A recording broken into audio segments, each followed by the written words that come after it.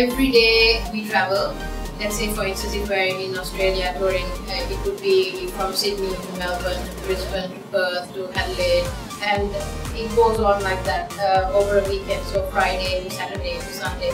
So the Friday and Saturday would be an all-nighter, and then the Sunday concert would be really difficult, but you have to give your utmost at it as well. So I've sort of learned to deal with um, not having that many hours of sleep and just running on coffee and Red Bull, but I don't do Red Bull anymore since I don't eat sugar.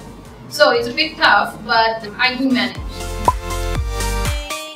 Don't deprive yourself of sleep if you really uh, you should be getting it. So uh, if you really can't avoid it and you have to work the next day or your workload is too much to take, then you probably should meditate a bit.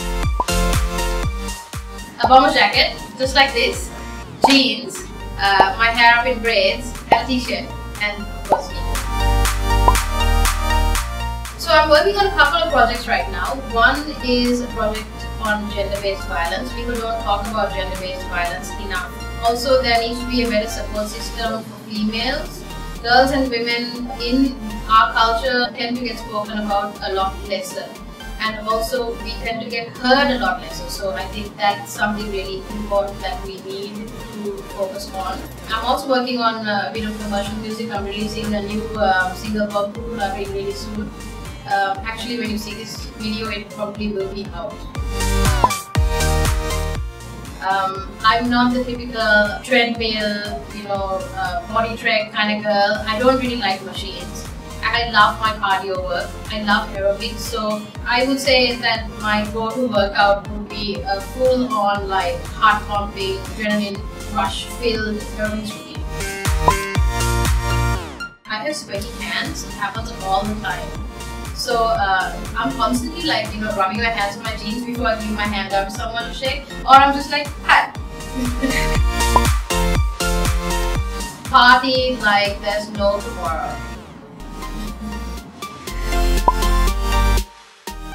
Home with my two dogs, Eva and Rio.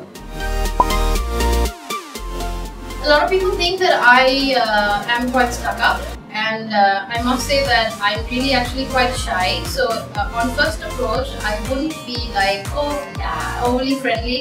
But if someone walks up to me and talks to me, then I would really open up and be friendly with them.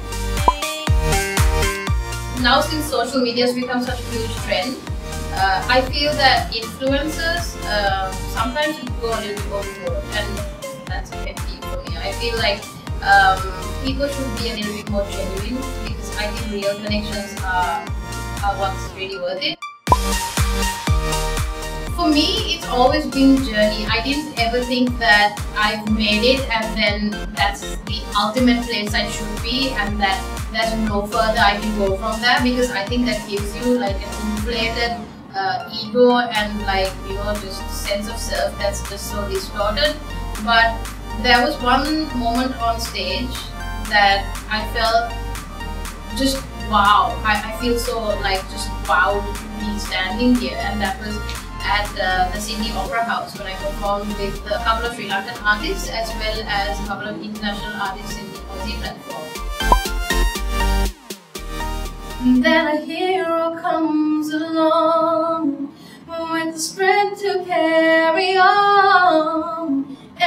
cast your fears aside and you know you can survive.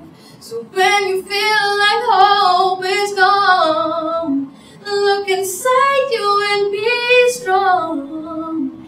And you finally see the truth that